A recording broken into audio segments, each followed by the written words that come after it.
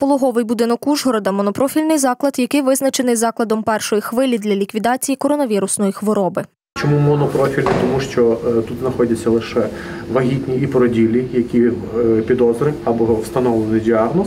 Із е, районних лікарень пацієнти до, каретою швидкої доставляються сюди. Е, На сьогодні час 62 людини проліковано, тобто вагітних да, породілі е, проліковані в цьому закладі. Наразі тут лікується три жінки. Днями одну з вагітних навіть вдалося зняти з апарату ШВЛ, і вона йде на одужання. Перша фактично е, вагітна жінка, яка була е, після довготривалого знаходження на апаратах ШВЛ, встановленим діагнозом і е, великим відсотком ураження легень була знята з апарату. На сьогодні вона самостійно дихає, ну але ще потребує кисневої підтримки і реабілітації.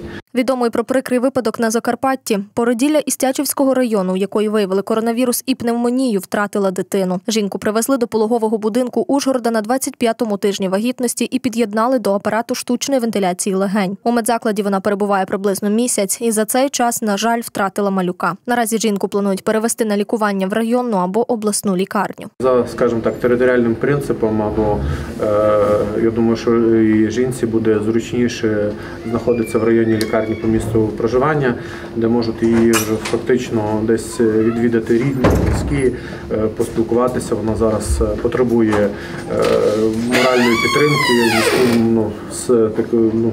З антинатальною загибелью плода, на жаль, ну на жаль, 25 тижнів було вагітна, але враховуючи важкий стан і е, патологію, тому ну була перервана вагітність, тому тобто вона потребує реабілітації.